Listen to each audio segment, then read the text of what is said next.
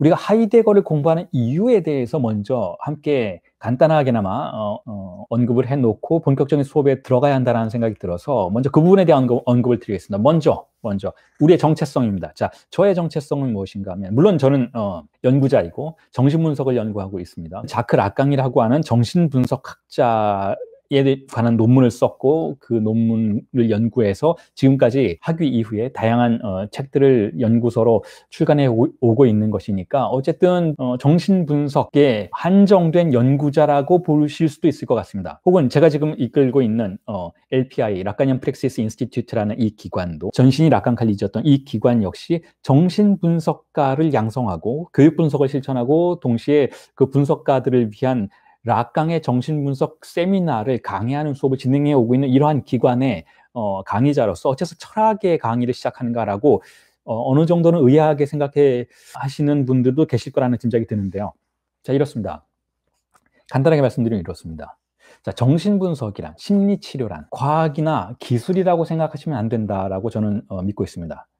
아, 물론 어, 저와 다른 생각을 가지고 계신 분들도 계시겠지만 제가 생각하는 정신분석은 그리고 인간의 심리를 다루는 인간의 마음을 다루는 다양한 방식의 치료의 형태들은 단순한 기술이어서는 안 된다는 것입니다. 단순한 테크닉이어서는 안 된다라는 것이 제 생각이었고 그렇기 때문에 철학을 함께 공부해야 한다. 인문학 전반을 함께 아우르는 연구자가 되지 않으면 인간의 마음을 들여다볼 수 없다라는 생각을 가지고 있기 때문에 오늘처럼 하이데거와 같은 20세기를 계시했던 철학자의 거대한 철학자의 텍스트를 함께 다루는 기회를 여러분들과 함께 마련하고자 했던 것이죠.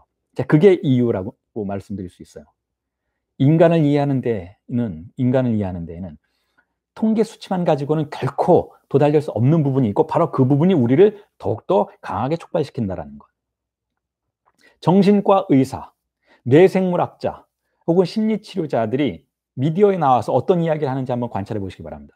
뭐 강의 프로그램이라든지 아니면 뭐 예능 심지어는 예능 프로그램이라든지 다양한 어, 프로그램에서 어, 정신의학자들, 정신과 의사들이죠. 혹은 심리치료자들이 나와서 하는 이야기, 혹은 뇌생물학자들도 많이 나와서 인간에 대해서 이야기를 하는데요. 자, 그들의 자, 이야기를 잘 들어보면 뇌에 대한 이야기를 별로 하지 않아요. 정신과 의사분들의 이야기를 잘 들어보면 뇌의 신경 전달 물질 체계의 이상 반응들에 대해서 이야기하잖아요. 인문학적인 이야기를 한다는 거죠. 우리 환경에 대해서 이야기하고 어린 시절의 성장 과정에 대해서 이야기하고 사회적인 반응과 분노에 대해서 이야기하는 것이지 뇌가 우리를 어떻게 자극하는지에 대해서 이야기하는 게 경우가 거의 없습니다. 왜냐하면 그들 역시 그것을 알고 있기 때문에 그렇다는 것이죠. 인간을 지배하는 것은 인간을 지배하는 것은 문화 환경적인 것들이지 뇌의 생물학적인 촉발인 자가 아니라는 것. 물론 그것들도 우리에게 많은 영향을 주기는 하지만 그것들이 환경 속에 들어와서 문화적인 영역에서 왜곡되는 과정이 더 그 진폭이 크다라는 걸 그들도 알고 있기 때문에 결국은 그들 모두가 인문학자처럼 이야기를 하게 된다는 거예요. 뭐 그들 중에는 인문학을 공부하고 철학을 공부해서 인간의 문명에 대한 깊이 있는 소양을 갖고 계신 분들도 있지만 그렇지 않을 경우에는 그야말로 굉장히 하나만한 소리를 떠드는 풍경이 벌어지게 되는 것이죠. 자, 그게 자, 그게 우리가 지금 시작하는 하이데거를 공부하는 이유라고 여러분들에게 말씀을 드리고 싶어요. 하이데거의 철학은 어렵습니다. 어렵습니다. 하지만 하이데거의 철학을 이해하지 못한다면 우리는 20세기의 인문학의 전기를 이해할 수가 없어요.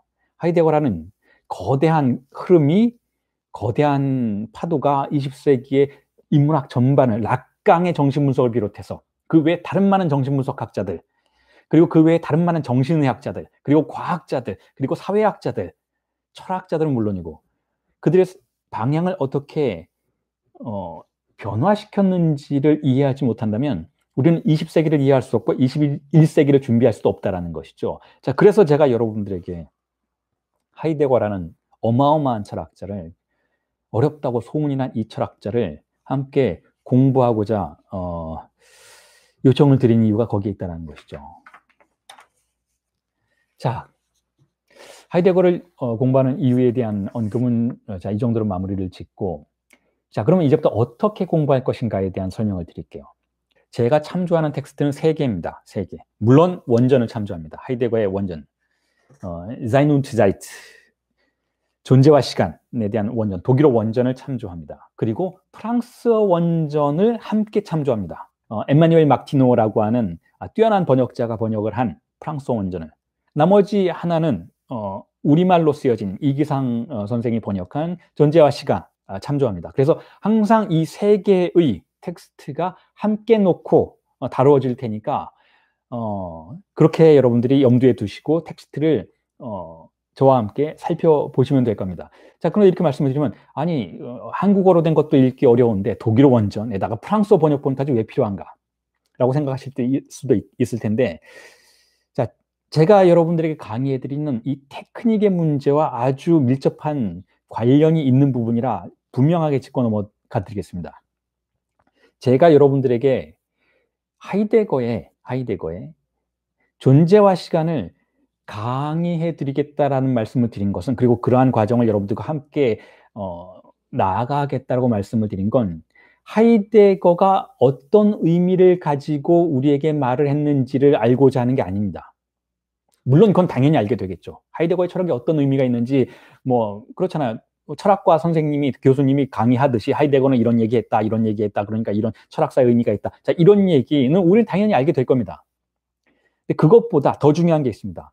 그것보다 하이데거의 기표 하나 하나를 하나 하나를 끌어와서 문장을 끌어오고 거기서 중요한 기표들을 끌어내서 그 기표들이 어떻게 번역됐는지를 살펴보고 그 기표들을 탐닉하는 것. 그렇게 함으로써 그 기표들이 원래 하이데거에 의해서 의도되었던 의미를 이해하는 건 당연하고 그리고 그 기표들이 어떻게 달리 해석될 수 있는지에 대한 가능성까지 탐사해 보는 것.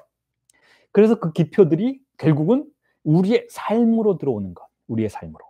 기표들을 탐닉하는 과정 속에서 그 기표들이 하이데거의 책 속에서 흘러나와서 우리의 삶으로 들어와서 우리의 삶을 구성하고 있는 기표들의 체계를 교란시켜서 우리 자신을 변화시키게 하는 것. 자, 그게 결국은 제가 하이데거의 존재와 시간이라는 텍스트를 강의하는 목적이고 하이데거뿐만 아니라 제가 강의 수업을 일단 한번 시작했다 하면 그토록 기표를 탐닉하고 아주 느린 속도로 모든 걸 다 탐사하려는 태도의 이유이기도 하다라는 것이죠.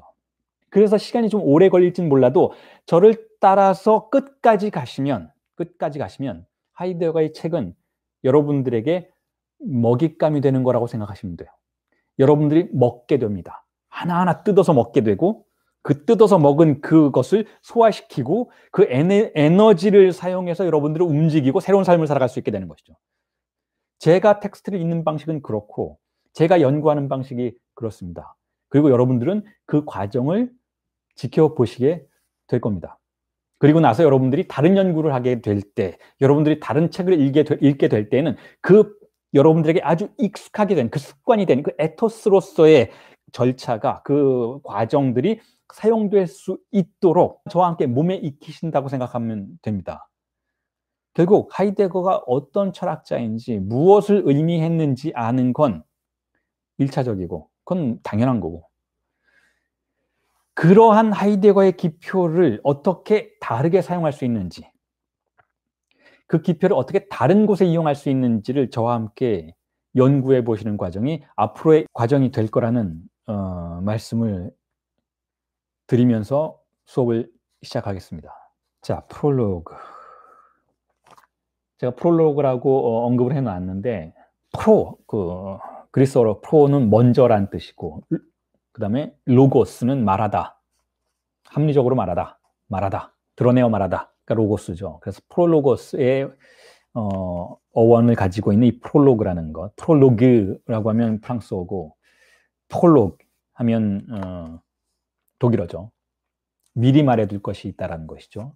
프롤로그의 부분의 위치에 어, 하이데거가 프롤로그라고 언급해 놓지는 않았지만 그 위치에 하이데거가 어떤 텍스트를 올려놨냐면 여러분들이 어, 텍스트의 맨 앞부분을 보시면 어, 한국 책에도 맨 앞부분에 그 부분 어, 언급이 되어 있는데 플라톤의 소피스트가 어, 소피스트의 한 구절이 어, 올려져 있죠. 자, 그 부분에 대해서 그 첫 하이데거의 첫 번째 프롤로그 문장 첫 페이지에 있는 프롤로그 문장에 대해서 여러분들에게 해석을 해드리면서 강의를 본격적으로 시작해 보도록 하겠습니다. 먼저 읽어보겠습니다. 제가 읽어... 자, 왜냐하면 당신들은 분명히 이미 오래전부터 당신들이 존재하는 이라는 표현을 사용할 때 그 표현이 본디 무엇을 의미하는지 잘 알고 있다.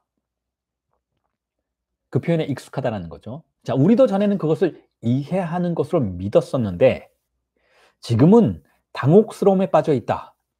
자, 라고 이야기하고 있어요. 자, 이게 플라톤의 소피스트에 등장하는 한 구절입니다. 자, 여기서 어, 먼저 이 부분에 주목해 보시기 바랍니다. 원래는 익숙하던 개념이 낯설게 되었다라는 것. 이게 아주 중요합니다. 자, 원래는 익숙하던 개념, 익숙하다라는 개념. 자, 프랑스어로는 어, 파밀리에라고 합니다. 파밀리에. 영어의 패밀리라는 단어와 유사하죠. 패밀리는 가족이잖아요. 가족이면 내가 익숙한 장소인 것이잖아요. 그러니까 가족처럼 편안한 장소를 어, 패밀리가 있는 장소라고 부른다면 프랑스어의 파밀리에, 파미에라는 단어가 가족이고 파밀리에라는 단어가 왜 익숙하다라는 뜻으로 어, 의미를 갖게 되는지 쉽게 이해하실 수가 있겠죠. 자, 이 익숙한 것이 익숙한 것이 원래는 익숙한 것이 뭐가 익숙했습니까? 지금 이 소피스트의 화자가 말하는 것은 존재하는 이라는 표현을 이야기하고 있죠. 존재하는 자인트, 존재하는 이라는 표현, 아우스드루크 표현, 아우스드루크.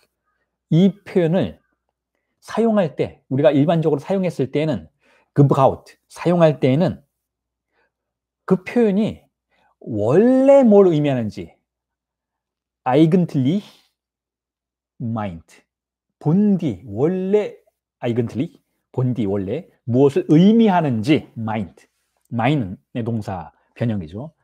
그것에 대해서 우리가 익숙했었다라는 거예요. 익숙했었다라는 것인데 무슨 일인지 무슨 일인지 지금은 그렇지 않아요. 지금은 그걸 이해하는 그걸 이해하는 것으로 믿었었는데 글랍튼 믿었었는데 지금은 당혹스러움에 빠져 있다라고 이야기하고 있어요. 당혹스러움. 프랑스어로는 렁바가라고 하죠. 엉바가라고 해요. 엉바가. 당혹스러움에 빠져 있다라는 거죠. 자, 이 부분을 여러분들이 이렇게 이해해 보셨으면 좋겠습니다. 철학이, 철학이라는 게 그런 일을 하는 것 아닌가? 철학이라는 게. 우리의 익숙하던 것을, 익숙하던 것을 어느 날 갑자기 낯선 것으로 만드는 게 철학의 계략 아닌가? 라고 생각해 보실 수 있어요. 여러분들이 잘 알고 있는 그 소크라테스를 한번 떠올려 보시기 바래요. 소크라테스는 어떤 인물인가요? 소크라테스는 어, 날파리 같은 인물이라고 표현을 했죠. 당시에 소크라테스를 본 사람들이 소크라테스 스스로도 그런 표현을 썼고 어, 아주 귀찮게 하는 벌레. 그러니까 편안하게 우리가 따뜻한 햇볕을 아주 익숙한 가족과 같은 도시의 공간에서 즐기고 있는데 소크라테스가 쓱 나타나서 지금 소피스트의 장면이 바로 그 장면이에요. 쓱 나타나서 뭐라고 뭐라고 뭐라고 말을 하게 되면 그 주변에 있던 사람들이 평상시에는 되게 익숙하게 이해하고 있던 것을 갑자기 낯설게 느끼게 된다는 거죠. 자, 그게 소크라테스의 능력이었다라는 거예요. 소크라테스는 우리를 익숙한 장소에서 낯선 장소로 fremd, 낯선 장소로 étrange한 장소로 fremd한 장소로 우리를 밀어넣는 자 그러한 역할을 하고 있었다라는 거죠. 소크라테스의 행보가 그랬었다라는 거예요. 소크라테스의 행보가 그리고 그것이 바로 philosophie한 철학함이라는 거죠. 철학하는 행위.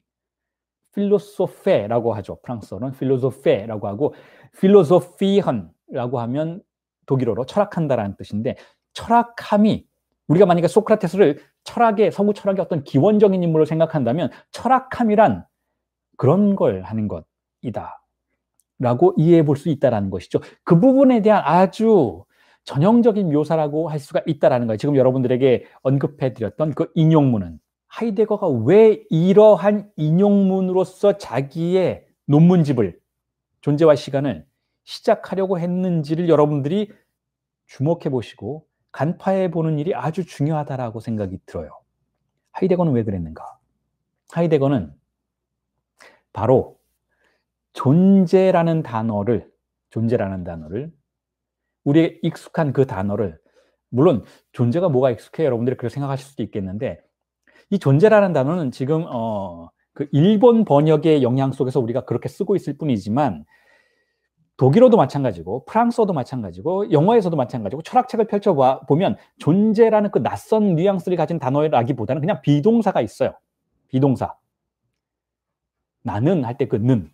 근데 그 비동사적인 용법을 쓰는 아주 익숙한 단어인 것이지 존재라는 그런 방식의 철학적인 뉘앙스를 가진 표현이 단어가 아니라는 거죠.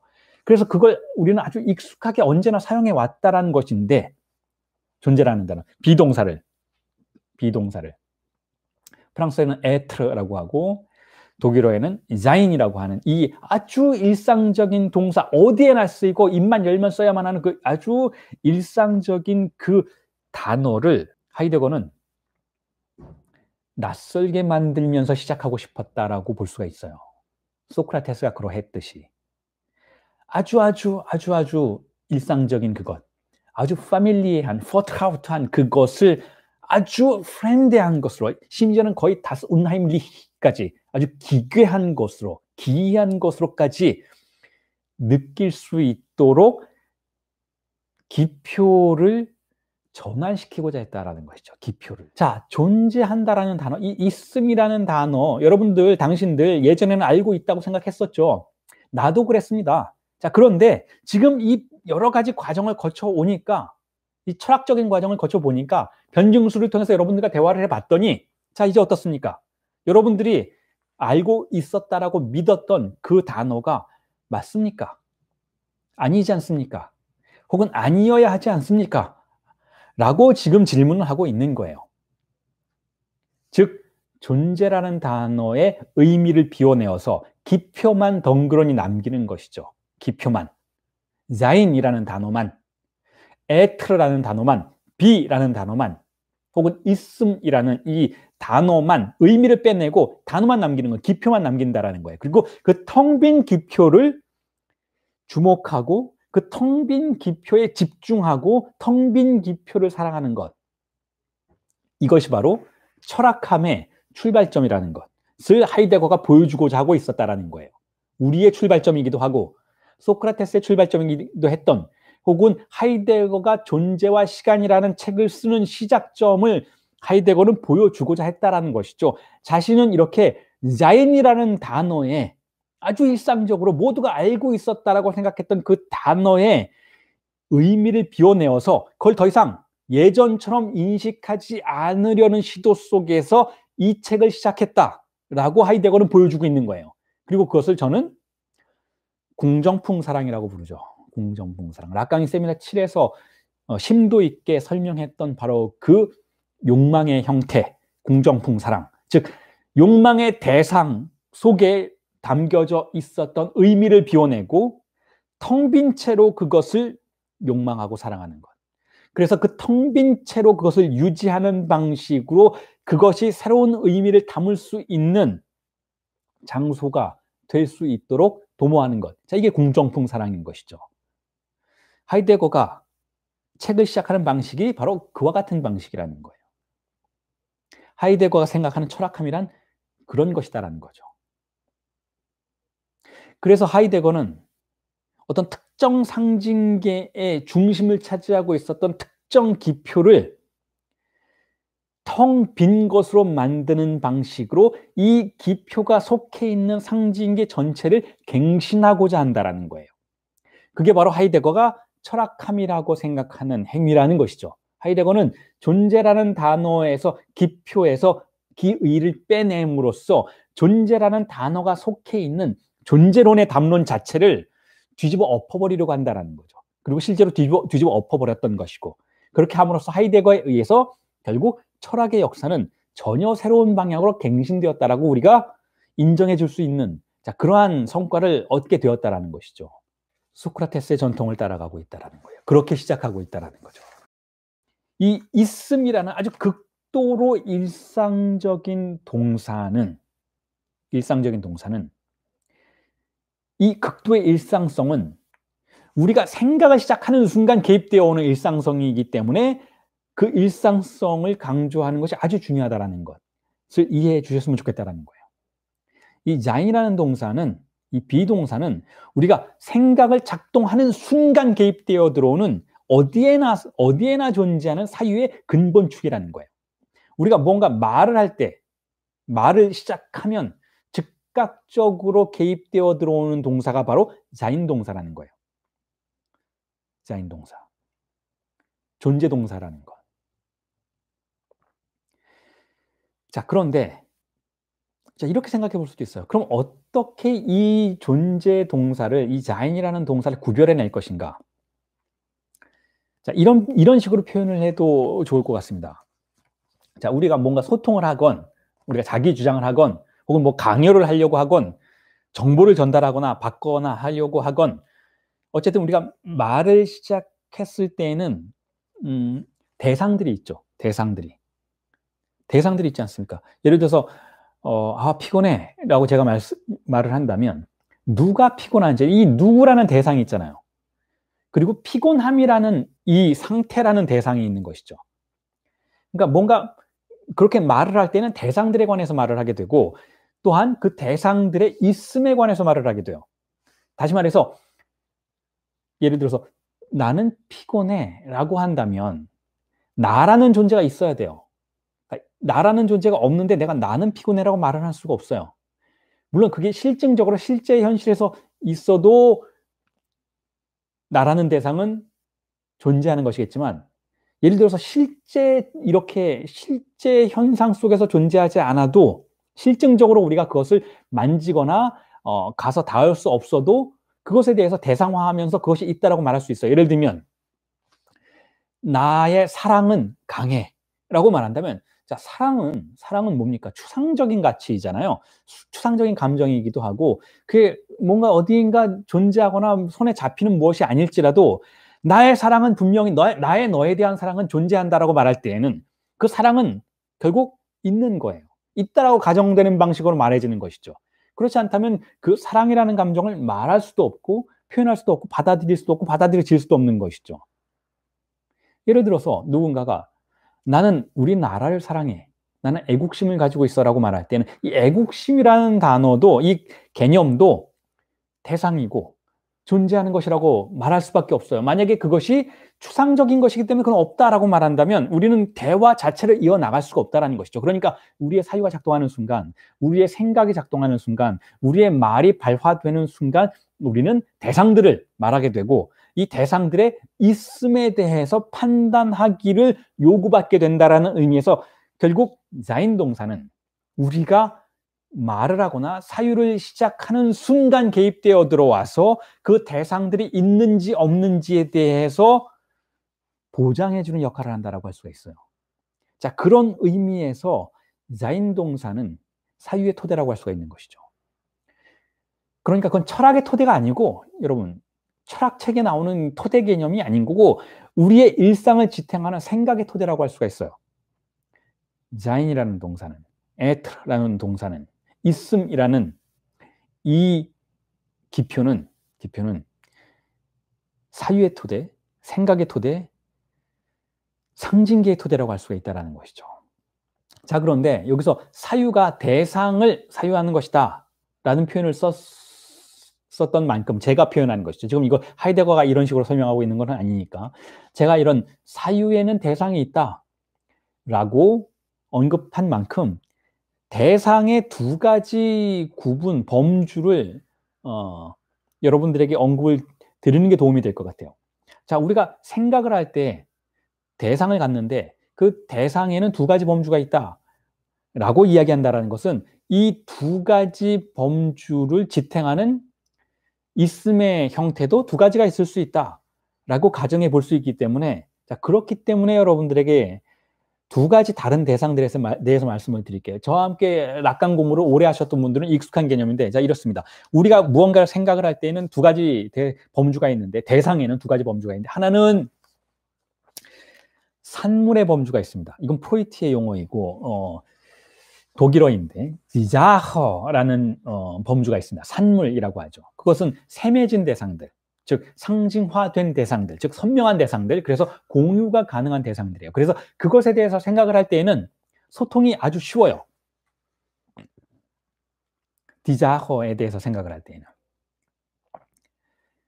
그런데 그것이 아닌 다른 대상들도 있어요. 우리의 사유를 끌어당기는 대상에는 그렇게 선명하고 상징화되고 좌표를 가지고 있어서 다른 사람과 다른 사람들과 이야기할 때 소통이 쉬운 대상이 있는 반면에 디자허들이 있는 반면에 즉 산물들이 있는 반면에 그렇지 않은 대상도 있죠. 그렇지 않은 대상을 다스팅이라고 불러요. 저는 사물, 한국어로는 사물이라고 번역을 하죠. 다스팅. 다스팅이라는 개념도 역시 프로이트의 개념이죠. 그리고 칸트의 개념이기도 하고. 칸트 개념과는 조금 다른 뉘앙스를 가지고 있지만 어쨌든 프로이트 역시 이 다스팅이라는 개념을 결국 산물, 디자허보다 근본적인 어, 대상으로 설정을 하죠. 다스팅이라는 개념을. 그래서 우리가 생각을 할 때, 생각을 한다는 건 무언가에 대해서 생각을 한다는 것이잖아요. 그런데 그 무언가가 되는 대상들에는 두 가지 범주가 있다라고 여러분들이 일단은 간단하게 이해해 보시면 좋을 것 같아요. 그 두 가지 범주가 바로 산물과 사물이다라는 것이죠. 그래서 우리가 사물에 대해서, 다스팅에 대해서 생각할 때에는 소통이 힘들다라는 거예요. 왜냐하면 그건 상징계에 의해서 명명되어서 분절되고 구분된 대상이 아니기 때문에 그 다스팅에 대해서 우리가 생각하게 되면 우리는 고독 속에 빠진다라는 거예요. 우리는 그것을 소통하기가 아주 힘들다라는 것이죠. 그래서 그것을 소통하기 위해서 우리가 무언가 말을 만들어내고 그것을 필터링하기 시작하면 그 다스팅이 원래 가지고 있던 속성이 사라지고 산물로서의 보편적 가치로서의 속성이 등장하기 시작한다는 것이죠. 그래서 이것을 필터링이라고도 부르고 정신분석에서는 이러한 이행을 죽음 충동에서 쾌락원칙으로의 이행이라고 불러요. 정신분석에서는 이러한 이행을 주일상스에서 욕망의 세계로의 이행이라고 부르죠. 그리고 이 두 가지 범주를 모두 지탱하고 있는 것이 바로 있음의 동사라는 거예요. 있음의 동사. 자인이라는 것이죠.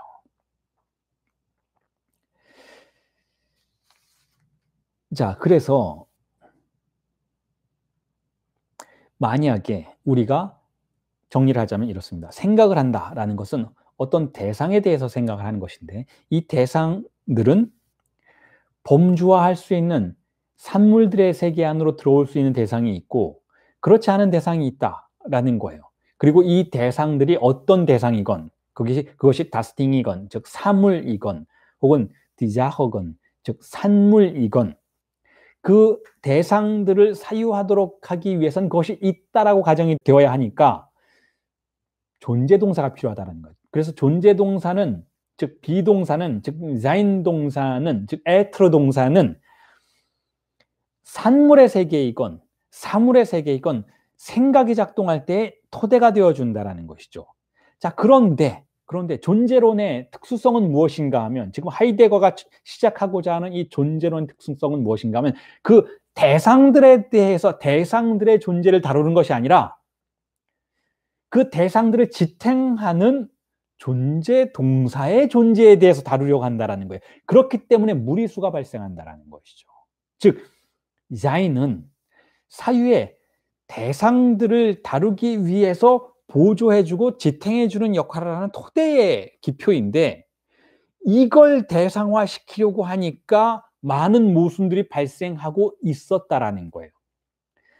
그럼에도 불구하고 철학사는 자 플라톤과 아리스토텔레스는 그 모순에 대해서 인식하고 있었고 그 모순이 가져오는 어려움에 대해서 인식하고 그것에 접근하는 조심스러움을 보였던 반면에 그 이후의 철학사는 그 모순을 덮어버리려고 했다라는 거예요. 다시 말해서 자인이라는 개념은 즉 존재하다, 있다라는 개념은 사유의 대상이 되는 것에 아주 많은 어려움과 모순을 가지고 있음에도 불구하고 그걸 얼버무리려 했다라는 것이죠. 그래서 하이데거는 그것이 얼마나 어려운 일인지, 즉 있다라는 기표를 대상화시켜서 사유하는 것이 얼마나 모순되고 어려운 일인지를 이제부터 다시 밝혀 보여주겠다라는 거예요. 그래서 저는 주목해 주시기 바랍니다. 그래서 저는 이 자인이라는 있다라는 동사 이 대상을 이 기표를 뭐라고 지금부터 부르고자 하냐면 대상 A라고 부르고자 해요. 자인은 존재는 대상 A라는 거예요. 왜인지를 설명드리겠습니다. 대상 A란 무엇인가요? 우리의 사유의 투획되는 것에 저항하는 것을 대상 A라고 불러요. 정신분석, 락가니언 정신분석의 이론에서는 대상 A를 그렇게 판단하죠. 대상은 대상인데, 자, 대상은 뭐예요, 여러분? 대상이라는 것은 사유의 대상이 된다라는 거예요. 욕망의 대상이건, 주의상서의 대상이건, 어쨌든 대상이 된다라는 것은 철학적인 용법을 쓰자면 생각의 대상이 된다라는 거죠. 자, 그리고 아까 말씀드렸던 것처럼 대부분의 대상들은 산물의 수준에서 우리에게 사유돼요. 즉, 이해된다라는 거죠.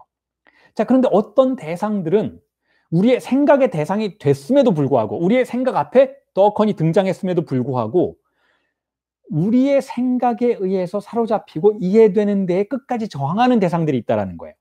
그 대상을 락강은 대상 A라고 부른다는 것이죠. 자, 그 대상 A가 상징화에 저항함으로써 우리의 사유의 체계를 교란시키고 힘들게 만들어요. 그래서 그걸 증상적이라고 부르는 거예요.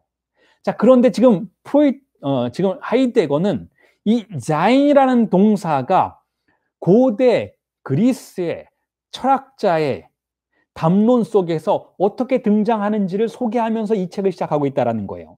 소크라테스에게 그리고 소크라테스를 둘러싼 그 대화 속의 인물들에게 존재라는 자인이라는 이 기표는 있음이라는 이 아주 일상적인 단어가 어느 날 갑자기 문득 상징화에 저항하는 알 수 없는 이해될 수 없는 기표로 유령과 같은 기표로 등장하는 순간을 묘사하고 있다라는 것이죠. 대상 A와 만나는 순간을 묘사하고 있다라는 거예요. 혹은 하이데거는 지금 자인이라는 동사를 산물이었던 그것을 산물처럼 자신을 은폐하고 있었던 그것을 대상 A화하고 있다라는 것. 자, 그렇게 함으로써 존재와 시간이라는 텍스트는 출발하고 있다라는 것을 여러분들이 주목하면 이 책은 아주 재미있는 책이 된다라는 거예요. 이 책은 대상 A로서의 존재라는 기표를 다루고자 하는 책이라는 것이죠. 즉 불가능한 시도를 불가능함을 인정하는 방식으로 시작하고 있다라는 거예요. 그렇게 함으로써 여러분들이 이 책을 쭉 따라가시면 어떤 결론에 도달하게 되는가를 미리 말씀드리자면 이래요. 여러분들은 결코 자인이라는 존재라는 기표가 무엇을 의미하는지 알게 되시지를 못해요. 존재와 사, 존재와 시, 간이라는 책을 덮게 되면 아 나는 이제 존재가 무엇인지 알 수 있을 것 같아. 존재라는 단어가 무엇을 의미하는지 알 수 있을 것 같아라는 말은 절대로 못 하시게 된다는 거예요. 그 대신 다른 걸 얻게 된다는 거죠. 그게 철학이라는 거예요. 의미를 획득하는 건 철학이 아니라는 거예요. 다른 걸 얻게 된다는 것이죠. 자, 어쨌든 자인이라는 단어를 하이데거는 대상 A의 위치에 올려놓으려고 한다는 거예요.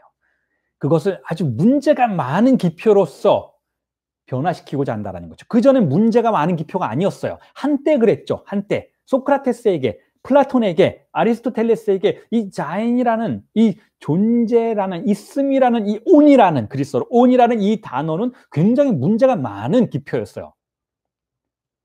그거 앞에 서면 우리가 막 흔들리는 기표였다라는 거죠. 그런데 그게 싸그리 잊혀지고 그 오랜 철학의 역사 속에서 외면되어 왔고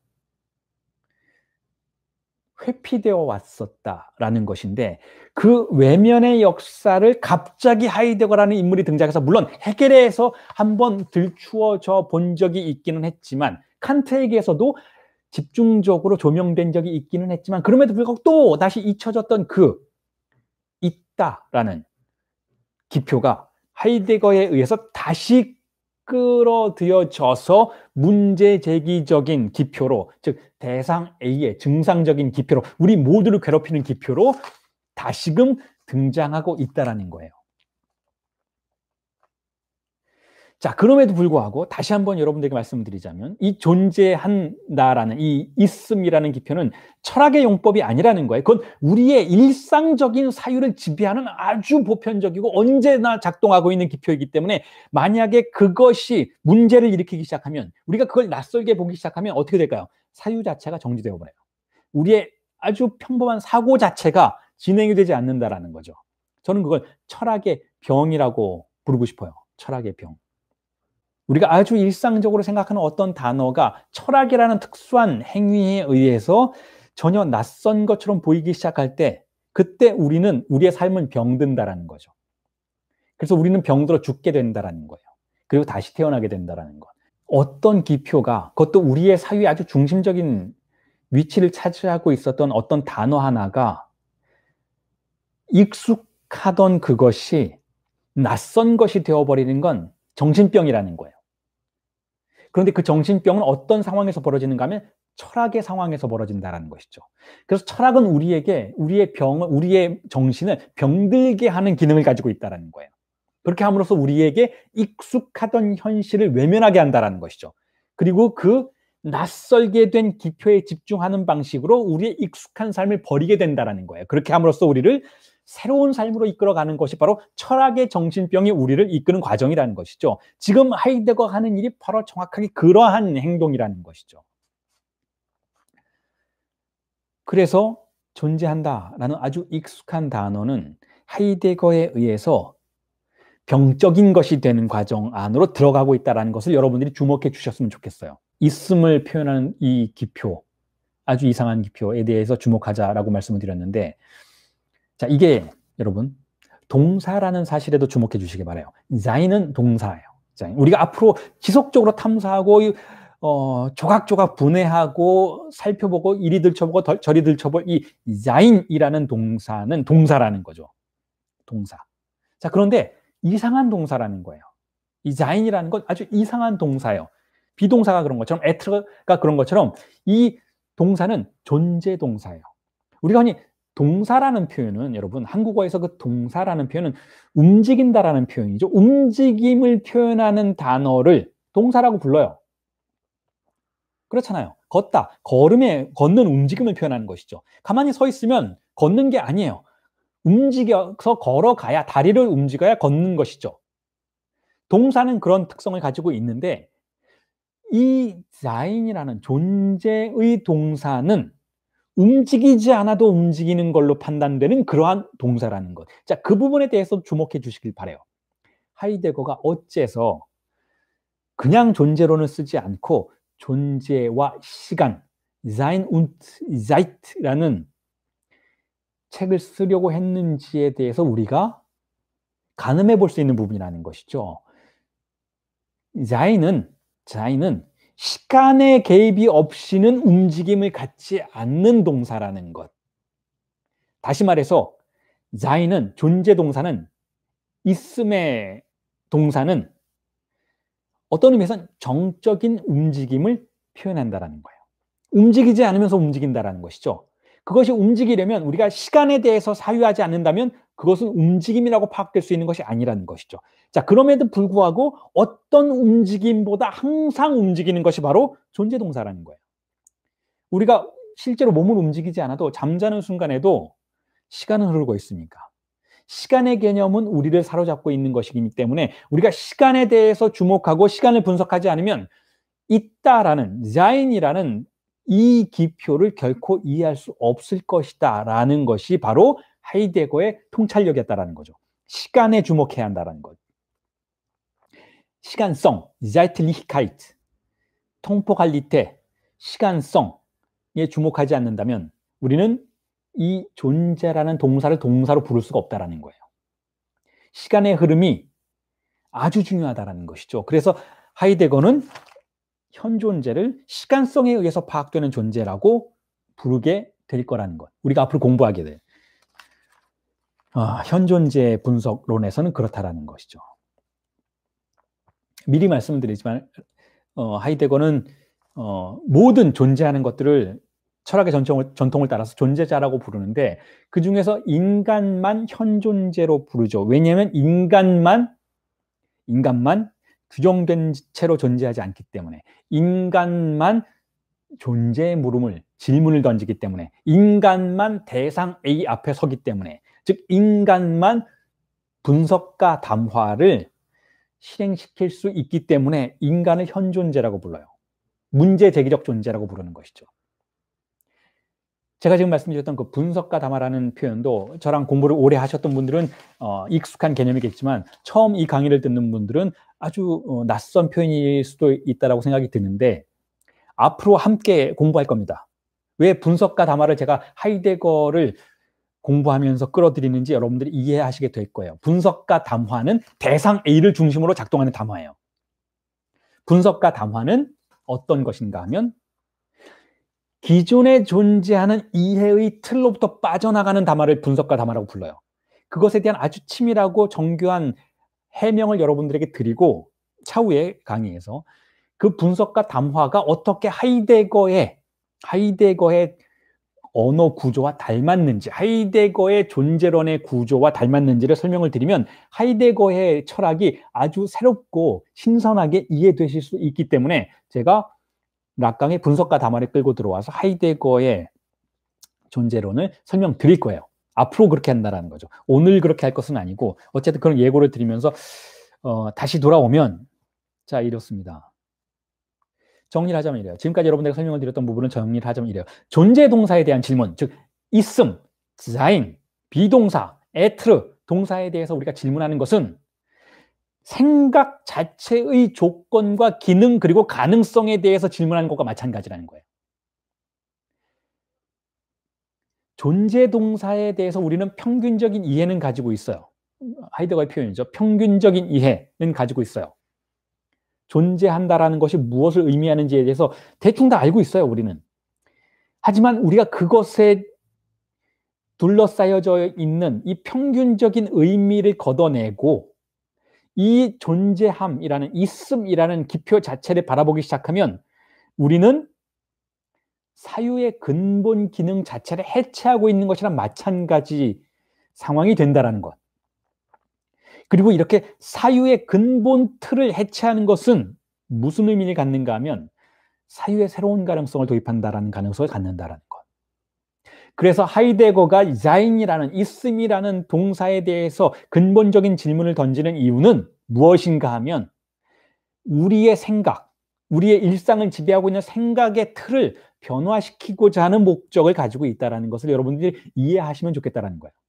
하이데거는 그냥 철학의 역사를 탁상 공론하듯이 다루고 철학이 무엇인지에 대해서 철학자들의 세계만을 다루는 그런 철학자가 아니라는 거예요.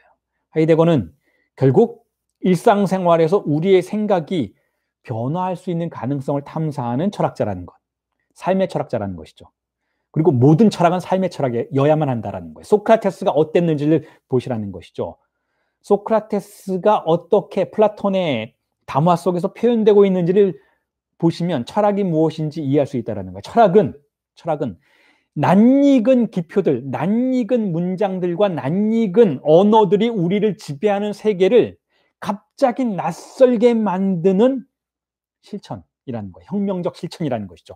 그렇게 갑자기 그 모든 것을 낯설게 만들어서 그로부터 우리를 거리두게 만들기 위해서는 우리를 찾아오는 낯선 기표가 있어야 한다라는 거예요. 마치 예수를 찾아왔던 새로운 기표들이 결국은 예수를 따르는 자들을 구약의 세계로부터 멀리 했던, 멀게 만들었던 것처럼 우리를 지배하고 있는 옛 것의 사유, 낡은 사유를 우리는 벗어나서 새로운 사유의 공간으로 나아갈 수 있어야 하는데 그러기 위해서는 하이데거처럼 그러기 위해서는 예수처럼 그러기 위해서는 락강처럼 기존에 존재하는 어떤 특정한 기표, 락강에게는 프로이트라는 기표였고 예수에게는 구약이라는 기표였고 하이데거에게는 철학이라는 기표였고 소크라테스에게는 아테네의 담론이라는 그 낡은 담론과 기표들을 전혀 새로운 방식으로 바라보는 낯선 것으로 바라보는 즉 대상 A화하는 분석과 담론의 개입이 필요하다는 것 이게 철학이라는 거예요.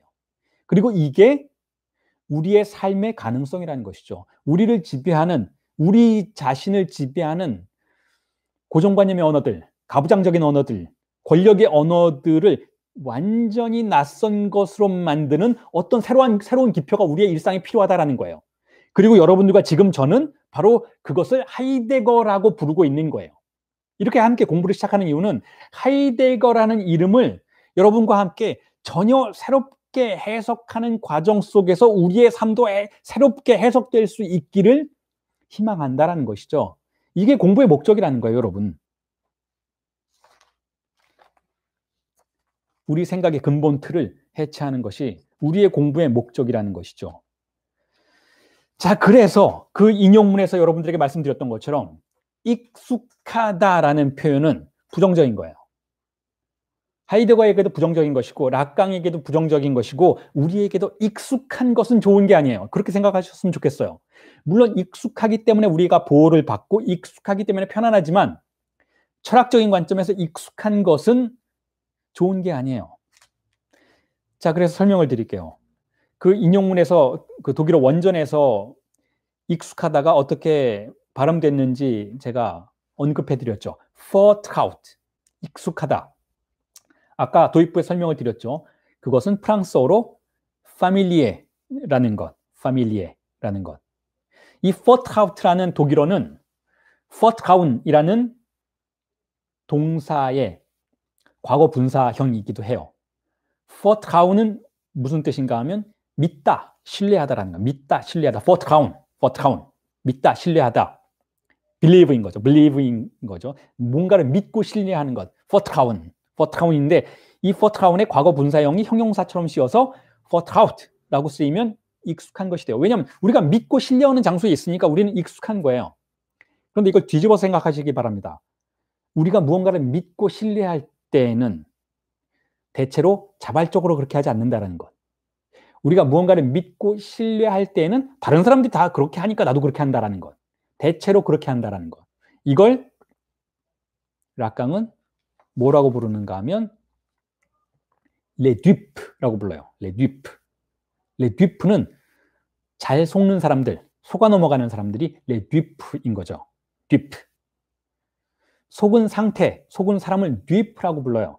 그래서 이 퍼트가우는 즉 믿고 신뢰하는 사람들이 있는 곳을 바로 레듀프라고 부를 수 있어요. 레듀프들이 있는 공간, 즉 바보들이 있는 공간인 것이죠. 그리고 이 듀프 라는 것을 락강은 신경증의 세계라고 규정하죠. 우리는 다 신경증자들이고 우리는 쉽게 믿었기 때문에 신경증자가 되어서 이 장소에 있는 사람들인 거예요. 그래서 우리는 신뢰를 잘하는 사람들, 포트가운을 잘하는 사람들이고 그래서 그걸 신뢰를 잘 했기 때문에 잘 사람들을 믿었기 때문에 예를 들면 제가 다른 어, 락강 강에서 많이 말씀을 드렸잖아요. 우리가 한국인이라는 거 여러분 확인해 보셨어요? 어렸을 때 다른 나라에서 입양됐을 수도 있잖아요. 우리가 어떤 집안의 아들이거나 딸이라는 거 우리 그냥 믿잖아요. 어렸을 때 친자 확인 안 해보셨잖아요. 그냥 어른들이 아, 그렇게 말하면 믿어요. 어른들이 자, 이렇게 하는 게 옳은 거라면 그럼 믿어요. 어른들이 이렇게 사는 게 맞는 거야. 그럼 믿어요. 어른들이 학교에 가면 가고, 고등학교 가면 가고, 대학 가면 가고, 좋은 대학 가면 가야 된다고 믿고, 좋은 회사 취직해야 된다고 말하면 그렇게 믿어요. 이런 이런 삶이 행복한 거야. 라면 그렇게 믿는 것이지, 어렸을 때 우리가 그걸 다 따져본 적이 없다라는 것이죠. 그냥 사람들이 그렇게 믿으니까 나도 믿는 거죠. 그러니까 우리는 자발적으로 믿는 것이 아니고, 믿게 된 거죠. 그걸 낙강은 속게 되었다, 속았다라고 표현하죠. 그래서 그걸 딥프라고 부르는 거예요. 그런데 그런데 만약에 우리가 그렇게 믿게 되면 그렇게 속게 되면 그렇게 딥프가 되면 즉 바보가 되면 이득은 있어요. 뭐냐 하면 편안해요. 그걸 쾌락 원칙의 공간 안으로 들어온다라고 표현하죠. 편안해요. 그래서 우리는 그 편안함에 익숙해지죠. vertraut. 익숙해지는 거죠. familiar 하게 되는 것이죠. 자, 그런데 그런데 이렇게 vertraut한 익숙한 세계가 어느 날 갑자기 이상해지는 경우가 있어요.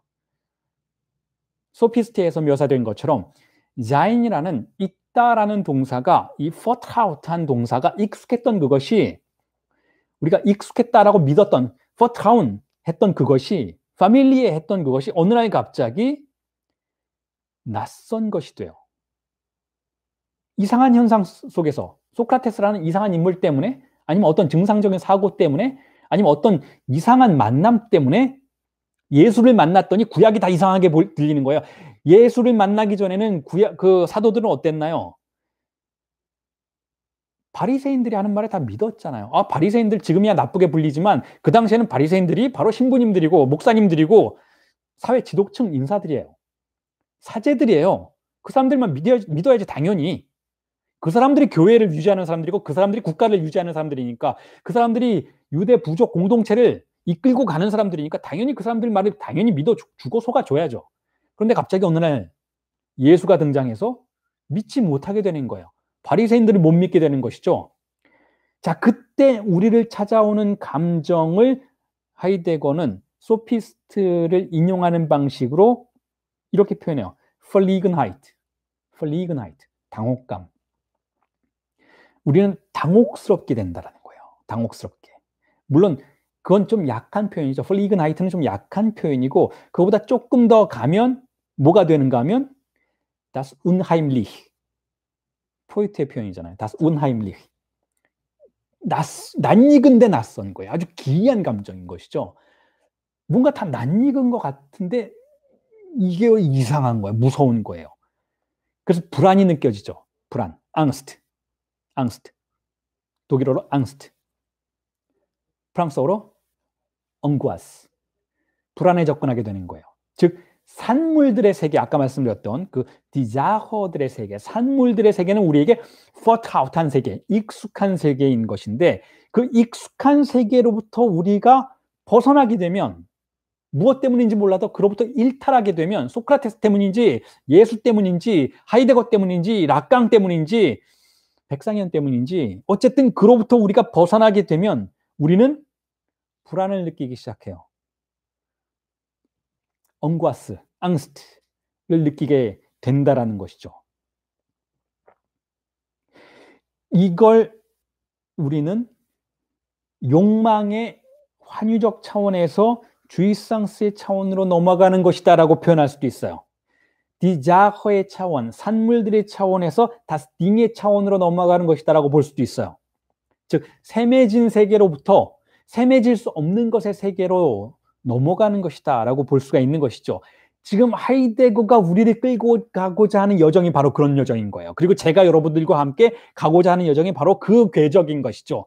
즉 퍼트하우트의 세계, 파밀리아의 세계, 익숙한 세계, 디자허의 세계로부터 우리를 다스팅의 영역으로, 주이상스의 영역으로 넘어가도록 만들려고 하는 것이 지금 하이데거의 철학적 기획이라는 거예요.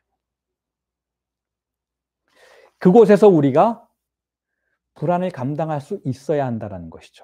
불안을 감당해야만 우리는 새로운 구조를 산출해 낼 수 있는 가능성에 접근하게 되는 것이니까.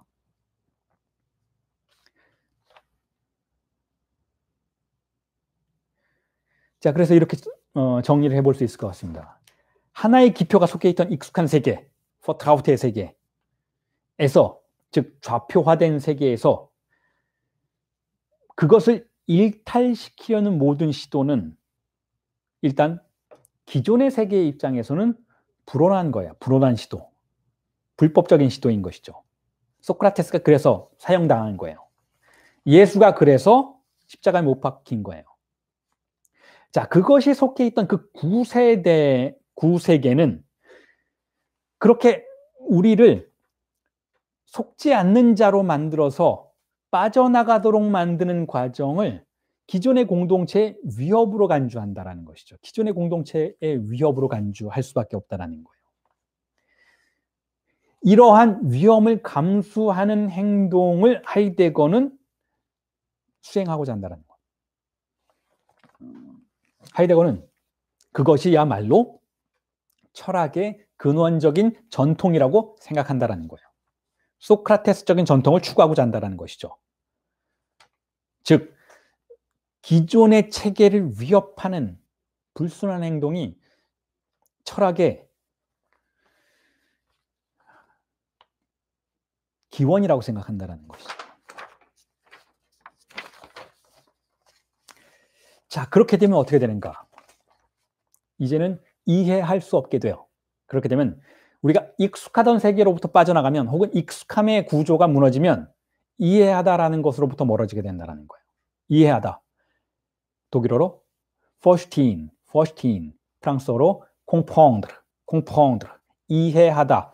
verstehen는 더 이상 불가능해지는 거예요. 하나의 기표가 자, 자인이라는 하나의 기표가 익숙한 세계에는 익숙한 연결점들이 가지고 있잖아요.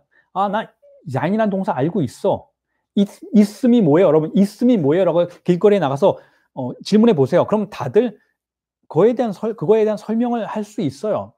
아, 있다라는 건 이 손수건이 있는 것도 있는 거고, 이 펜이 있는 것도 있지 않습니까? 이런 거 있다라고 불러요. 우리 다 알고 있어요. 즉, 다시 말해서, 있음이라는 이 자인이라는 기표는 그 다른 기표들과의 좌표적 연결들을 이미 가지고 있어요. 그렇기 때문에 우리는 이해한다라는, first인한다라고 말할 수가 있다라는 것이죠. 그런데 이 하나의 기표를 기존에 있던 자리에서 끌어내어서, 끌어내어서 이걸 낯선 곳으로 가져가면 기존의 이해의 체계는 붕괴돼요. 그런 의미에서 이해란 무엇인가? 이건 악강적 규정이기도 하죠. 이해란 무엇인가 하면 그 이해의 대상을 이해의 대상을 자 여러분 이 시커먼 게 뭔가요? 딱 보니까 형상만 가지고 여러분들이 이 방송을 통해서 보실 때에는 뭔가요? 검은색의 펜인 것처럼 보이죠. 자, 이 형상을 여러분들이 이해한다라는 것은 여러분들이 이미 이미 쓴다라는 단어를 알고 계셔야 돼요. 쓴다라는 단어를 모르면 다시 말해서 한 번도 써본 적이 없거나 쓴다라는 단어가 없는 세계에 살고 계신다면 여러분들 이게 뭔지 몰라요. 그러니까 어린애들이 쓰는 게 뭔지 모르는 애들이 이 펜을 보면 어떻게 하나요? 모른다고 하거나 입에 가져가서 원래 사용법과는 다르게 사용하겠죠. 자, 그러니까 이걸 알려면 자, 이건 그냥 형상이 아니죠. 여기에 달라붙은 기표들이 있잖아요. 검은색, 길쭉함, 뚜껑이 있을 듯함. 그렇죠? 여러 가지 기표들이 이미 달라붙어 있어서 이걸 이해한다라는 건 무슨 뜻인가 하면 여러분들이 기, 이미 알고 있는 기표들의 체계 안으로 이 기표를 가지고 가서 적용시켜 본다라는 거예요. 그게 이해라는 거예요. 이해한다라는 것은 그렇게 이해해야만 하는 대상을 익숙한 틀 안으로 이미 우리가 속해 있는 틀 안으로 가져와서 분절함을 말해요. 그 얘기는 달리 얘기한다면 그 대상이 가지고 있는 증상적인 위험성을 제거한다라는 것이죠. 제거하고 그것을 나의 내가 속해 있는 이해의 시스템 안에 결부시킨다라는 뜻이에요. 여러분 그 이해라는 어, 용어가 등장을 해서 어, 말씀을 드리자면 지금 제가 말씀드리는 것을 더 쉽게 여러분들이 설명 어, 이해를 하고 싶으시다면 이런 어, 은유를 한번 떠올려 보셔도 좋을 것 같아요. 예를 들어서 한 남자가 있어요. 한 남자가 있는데 강박증자예요. 예를 들면 강박증적인 남자는 자신이 모르는 것에 대해서 굉장히 불안을 느껴요. 그 대표적인 경우가 어, 예를 들어서 강박증 남자가 아내가 있는데 이 아내의 욕망에 대해서 자신이 다 알고 있어야 돼요. 안 그러면 되게 불안하게 느껴요. 뭐 이 아내가 갑자기 봄이 와서 아주 아름다운 하늘거리는 어떤 어, 어떤 섹스 어필하는 그런 어, 복장을 했을 때 남자는 강박증자로서의 남자는 상당한 불안을 느끼죠. 도대체 이 여성이 무슨 생각을 하는지 무슨 욕망을 느끼는지 알고자 하죠. 자, 이런 강박증자의 상태가 극대화되는 순간은 어떤 순간일까요? 예를 들면 이 아내가 여자가 집을 나가버린 거예요. 이혼을 선언하고 나가버리는 거죠. 그때 이 강박증자는 거의 미칠 지경에 이르게 돼요. 그래서 이 여성이라는 이 아내라는 기표를 이 아내의 욕망이라는 기표를 자신의 틀 안으로 가지고 와서 분절하려고 엄청난 노력을 기울이죠. 도대체 왜 나갔을까? 남자가 생긴 것일까? 아니면 아까 말씀드렸던 뭐 화가가 되려고 했던 어떤 여성 얘기가 있잖아요. 화가가 되려고 했던 것일까? 어쨌든 자신이 알고 있는 기표의 세계, 체계, 이해의 체계 안으로 가지고 와서 분절하려고 해요. 아까 그 변호사가 그랬잖아요. 정확하게. 한 여성에 대해서 도대체 화가가 되려는 욕망은 뭐지? 그림을 그린다는 거, 예술한다는 건 뭐지? 자, 이 변호사는 자기가 알고 있는 지식의 한계 안에서 그걸 판단하는 거예요. 그리고는 이 사람에게는 화가가 된다는, 아, 그림 그려서 돈 버는 거? 아니면 사람들로부터 명예를 얻는 거? 뭐 이 정도로 생각하겠죠. 그래서 이 사람이 가지고 있는 지식의 틀 안으로 가지고 와서 그 여성의, 화가가 되려고 했던 여성의 사례를, 그 기표를 이해하면 딱 그만큼 이해가 되는 거죠. 아, 이 여자는 불행해. 유명해지지도 않았고 돈도 못 벌었고 마트에서 일한다니까 자 내가 가지고 있는 이해 안에서는 이 여자는 자 이런 수준으로 전락한 여자일 뿐이야 라고 판단하겠죠 이게 강박증자가 하는 행동이에요 자 그렇다면 이 이해라는 개념은 결국 원래 그 대상이 되었던 것을 온전하게 파악하는 것인가 하면 그렇지 않다라는 거예요. 원래 그것이 가지고 있었던 모호한 부분은 다 잘라내고 내가 아는 부분만 가지고 와서 변형시켜 버리는 것. 자, 이게 우리가 하는 이해예요. 그 남자 변호사 얘기도 그랬지만 혹은 뭐 아내가 떠나버린 한 남편의 얘기도 그럴 수 있겠지만 엄밀한 의미에서는 이해라는 건 본질적으로 그렇다라는 거예요. 우리가 이해할 수 없는 면을 제거하고 이해할 수 있는 부분만 가지고 와서 보는 것. 이게 이해인데 이해할 수 없는 부분을 제거한다는 건 무슨 뜻인가 하면 그냥 그걸 왜곡시켜 버린다는 뜻이죠. 원래 그 대상을 이해하는 것이 아니고 우리의 틀 안으로 가지고 와서 조각조각 분절해 버린다는 뜻이에요. 그렇게 해서 원래 그것이 가지고 있었던 속성은 사라져 버리고 우리가 이해할 수 있는 수준의 속성만 남기게 된다라는 의미에서 결국 우리는 이해하는 게 아니에요. 하지만 이해는 언제나 그런 식으로 작동한다라는 거예요. 그렇게 해서 이해가 작동하게 되면 우리는 거기서 익숙한 삶을 살게 된다라는 것이죠. 자, 그렇다면 이해는 대상을 어떻게 하는 것인가요? 대상을 왜곡하는 것이라고 볼 수가 있어요. 이해라는 것은 그런 의미에서 자크라카가 항상 그렇게 얘기해요. 이해하는 건 중요하지 않다는 거예요. 분석가가 내담자를 이해하는 건 결국 분석가가 가지고 있는 지식 안으로 내담자의 삶을 가지고 들어와서 분절해서 왜곡시킨 것일 뿐이지 어느 누구도 어느 누구를 이해할 수 온전하게 이해할 수 없다. 그러니까 이해를 시도하는 건 바보 같은 짓이다라고 얘기를 해요. 이해는 무의미하다라는 것이죠. 자, 이해는 그런 거예요. 하나의 기표가 가지고 있었던 원래의 증상적인 특성들이 다 사라지고 위협적인 것, 모난 부분들이 다 잘려나가고 내가 속해 있는 이해의 틀 안으로 들어와서 귀속되는 것일 뿐이니까 원래 그것이 가지고 있었던 힘, 영능, 증상적인 특성 혹은 병적인 특성이라도 볼 수 있는 그 병리적인 특성들은 다 제거되고 살균 처리되는 것이다 라고 볼 수가 있다는 것이죠.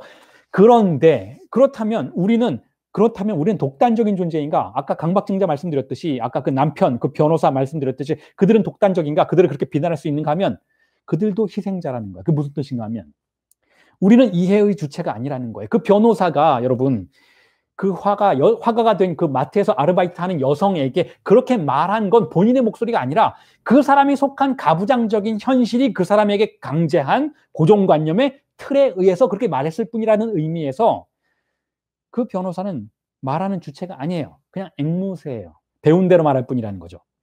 그런 가정에서 자랐고 그런 환경에서 공부했고 그렇기 때문에 그 남자는 그 강박증자는 그렇게 가부장적으로 말할 수밖에 없다라는 의미에서 그들 모두는 우리 모두는 엄밀한 의미에서 이해의 주체가 아니라 우리 역시 그 이해의 틀 안에 들어가서 분절되고 귀속되는 대상들일 뿐이라는 거예요.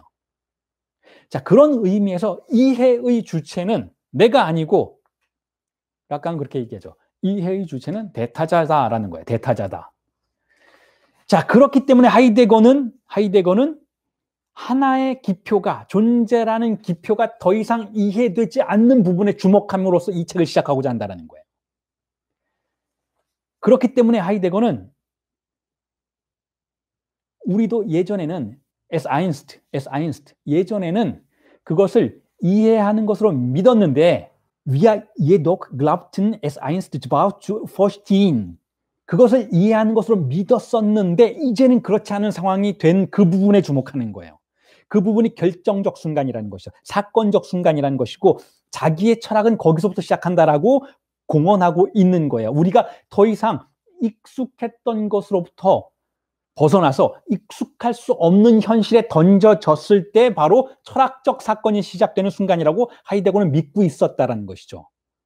우리가 지금 살고 있는 곳, 이 장소는 익숙한 곳이에요. 익숙한 곳. 익숙하고 이해받고 이해하는 장소인 것이죠. 하지만 그 장소가 우리를 편안하게 하고 보호해 주는 것은 사실이지만 그 장소가 철학적으로 올바른 장소는 아니라는 거예요. 왜냐하면 이해의 주체는 우리가 아니고 누구예요, 여러분? 고정관념이니까.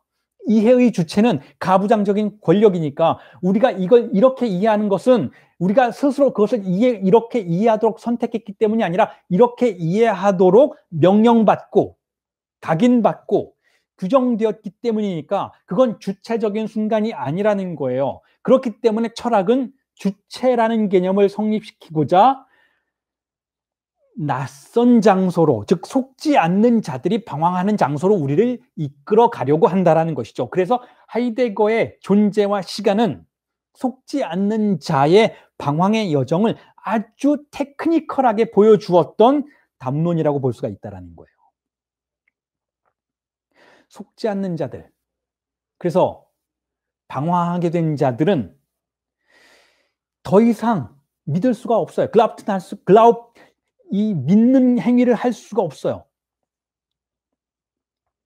그렇기 때문에 속지 않는 자들은 방황으로 들어가죠. 그래서 방황 속에서 경험되는 당혹감과 불안을 앙스트와 펄리근하이트를 펄리근하이트를 당혹감을 엉바가를 지금 예문에서 표현된 그 엉바가 당혹감 펄리근하이트를 견뎌내야 한다는 거죠. 그게 철학자의 의무라는 거예요. 당혹감을 견뎌내는 것. 그 불편함을 견뎌내는 것. 그 말레즈를 프랑스어로 말레즈죠. 독일어는 우버하겐.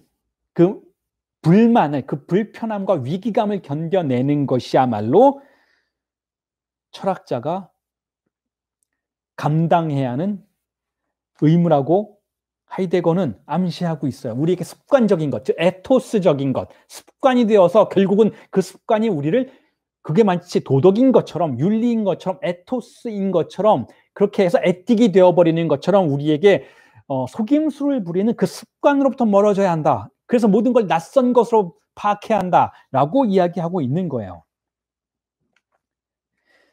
그런 의미에서 이 당혹감은 펄리그나이트는 철학의 조건인 것이죠. 사유한다라는 것은 아주 자연스러웠던 행위가 갑자기 토대를 상실하고 기이한 행위가 되어버리는 사태를 말하는 것이니까 그래서 하이데거는 그 토대 중에 토대가 되는 기표, 즉 존재 기표, 즉 자인 기표, 있음의 기표를 겨냥하는 것이죠. 그렇게 해서 그것이 우리에게 당혹스러움을 불러일으키는 증상적 기표가 되려, 되고자 하이데거는 도모하고 있다라는 거예요. 증상적. 심토마, 어, 쌍토마틱, 심토마티시, 쌍토마틱한 기표가 되도록 증상적인 무언가가 되도록 그래서 우리를 뒤흔들도록 만든다라는 거예요.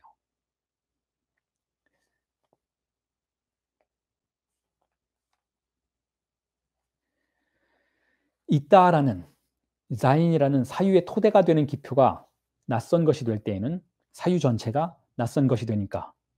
그래서 우리의 이해 기능이 정지되어 버리는 것이니까. 그렇게 함으로써 사유의 낯선 공간이 출현하게 되면 되고 그렇게 함으로써 결국 우리의 존재에 대한 관점이 뒤틀려 버리게 되고 그래서 그때는 존재한다라는 감각 자체에 실제로 심리적인 감각 자체에 물리적인 충격이 가해지는 사건이 초래되도록 만드는 것이 하이데거의 철학, 철학 의 기획이라는 거예요.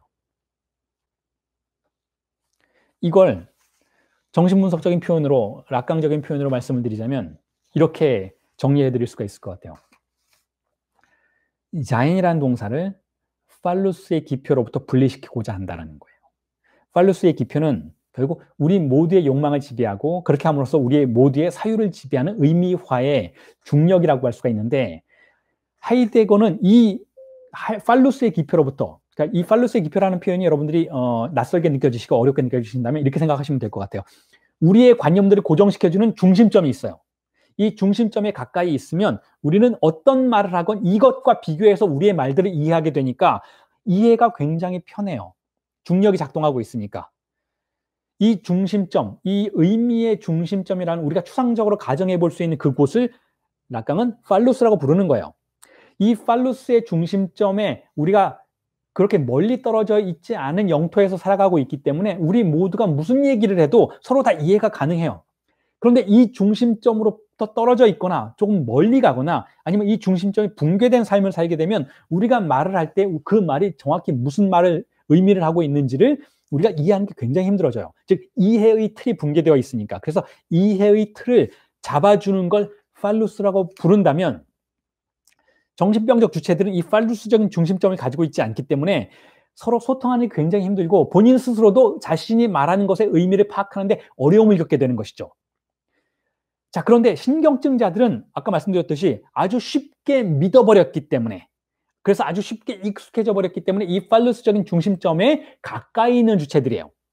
그렇다면 이 팔루스적인 중심점에 가까이 있는 한 우리는 세상을 새롭게 볼 수가 없어요. 항상 팔루스적인 방식으로만 세상을 보게 되니까 즉 가부장적인 의미화의 체계 안에서만 세상을 바라볼 수 있게 되니까 우리는 세상을 정확 그 새롭게 바라보는데 상당한 어려움을 겪게 된다는 거죠.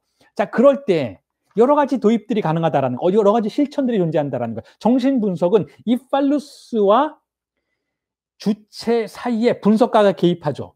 그래서 이 팔루스와 주체 사이에 중력이 잠시만이라도 작동하지 않도록 만들어줘요. 이게 바로 정신분석 상담이에요.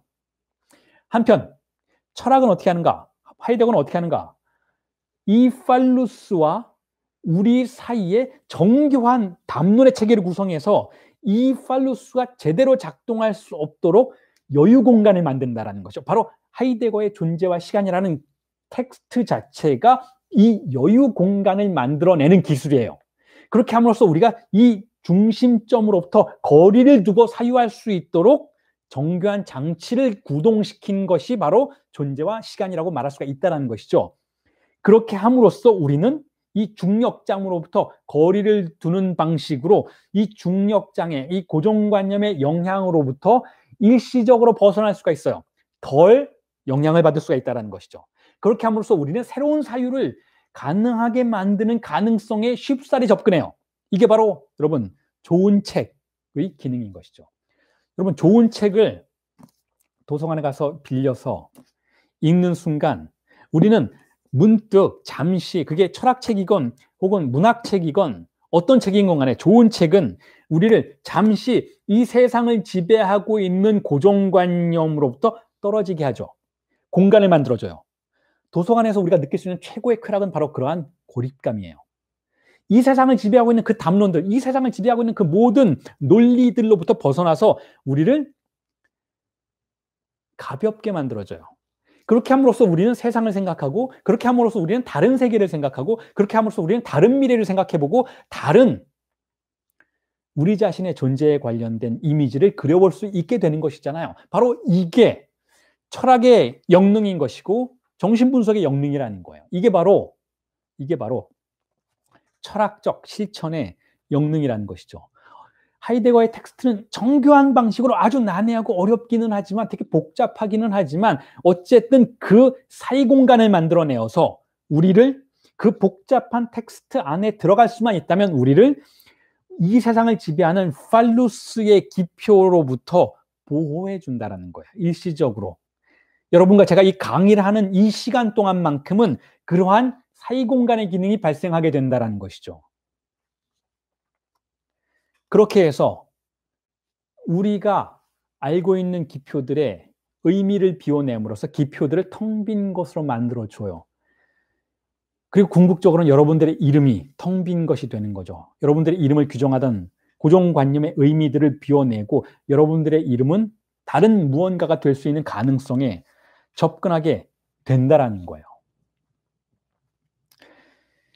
자, 어, 첫 번째 시간이었기 때문에 어, 여담도 좀 있었고 어, 강의를 시작하는 어, 초입 부분에 어, 기술적인 부분에 대한 언급도 많이 있어서 어, 그 부분으로 시간이 많이 지체되기는 했었지만 어쨌든 오늘 강의는 어, 이렇게 어, 정리를 마무리하도록 하겠습니다.